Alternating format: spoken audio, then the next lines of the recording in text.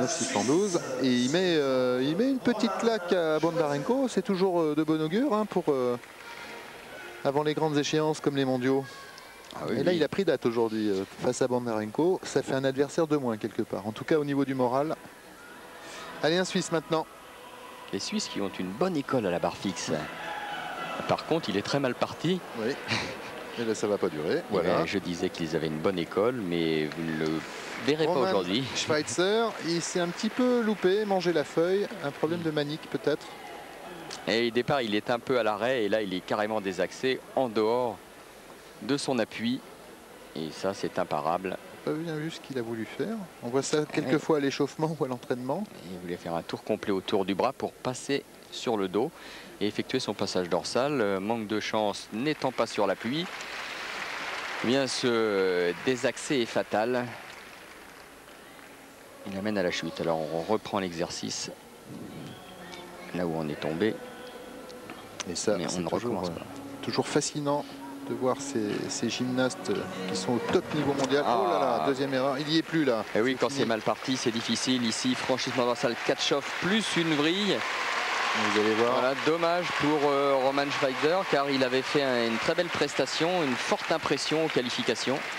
Mais sauf à ce qu'il se soit fait mal, il va sans doute euh, reprendre son exercice et le terminer peut-être un peu, un peu moins, un peu plus rapidement que prévu, Oh. qu'il sait que tout est perdu. Mais en tout cas, il va finir. Et ça, c'est Toujours il, surprenant. il voit sa barre peut-être un petit peu tard, il l'engage sur les poignets au lieu de la prendre bien par la main sous le bourrelet de la manique, cette euh, protection qui permet également une meilleure prise de la barre.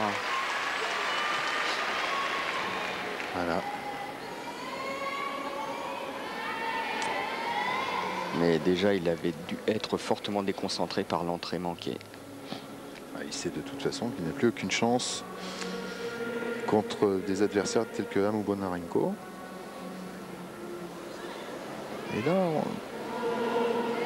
il continue tout de même. Et maintenant la sortie. Voilà la sortie. Et on peut quand même tirer un grand coup de chapeau à Roman Schweitzer. Il y a peu de sports où euh, un athlète tombe à deux reprises et termine malgré tout son exercice. Ouais, c'est- très un grand coup de courageux. chapeau à... Mais tous les gymnastes le font Oui, oui, c'est euh, c'est tout à l'honneur de, de cette discipline extrêmement euh, difficile. Ça fait partie de la règle du jeu et ça fait partie effectivement de la discipline, de la gymnastique, de la rigueur. On va jusqu'au bout. Et pourtant, il y a bien des fois où ça ne doit pas vraiment être évident d'aller euh, au bout d'un exercice quand on sait pertinemment que, bah, que c'est fichu. Ah, la motivation n'est plus là, mais il faut y aller.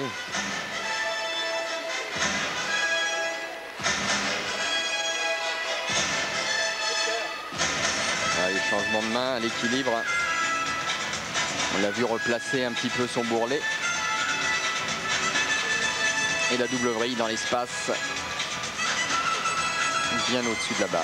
Et une belle sortie pour Roman Schweitzer qui avait euh, quand même euh, de belles difficultés techniques. On s'en est pas tout à fait rendu compte euh, compte tenu des erreurs commises.